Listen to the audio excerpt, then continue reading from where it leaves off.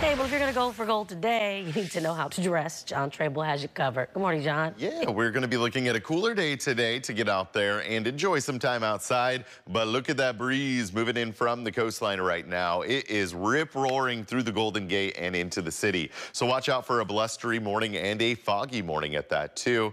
It is a return to our normal for this time of year across the Bay Area.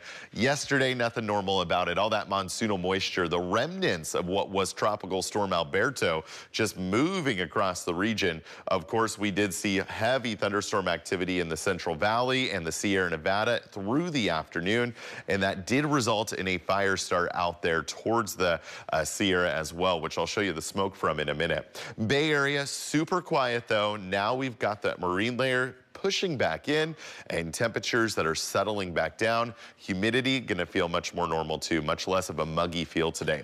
You do have fog at the coastline, still warm inland, but not near as hot as it has been. Winds really going to be breezy through the Delta, the coastline, the Golden Gate. All these areas subject to a very strong southwesterly wind, pushing in that cool ocean air and keeping temperatures moderated even more so into tomorrow. Thursday is expected to be an even cooler day than today. Now, I talked about a little bit of that smoke. We do have wildfires burning just east of Fresno up in the Sierra Nevada. Smoke from that latest blaze is not going to be pushing our direction, but quite the plume being detected out there in the Sierra. So if you are heading that direction, particularly around Sequoia, Kings Canyon National Parks, do watch for that impact. Now, temperatures today are going to be in the 50s to 60s for San Francisco, as well as other coastal spots. A lot of 70s to 80s elsewhere, and I'm not going to be talking about any 90s, and I think that's okay with most of us. A little bit of a step back from the summer heat.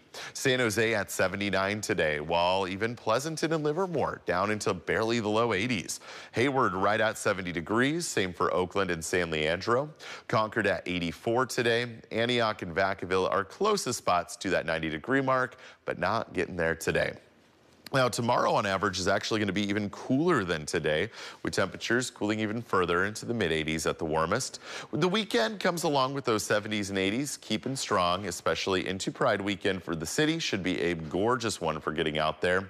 We waste no time heating back up into next week. Highs back in the triple digits by Tuesday.